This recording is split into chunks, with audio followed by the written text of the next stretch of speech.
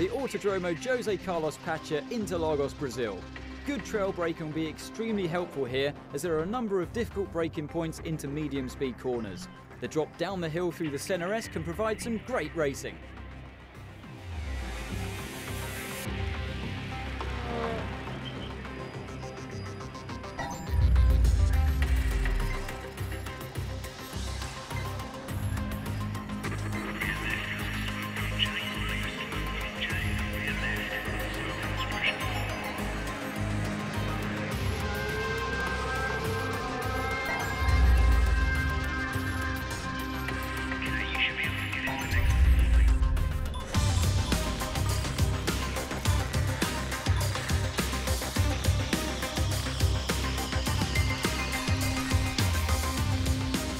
Welcome to Sao Paulo, which has been host to Formula One races since 1973.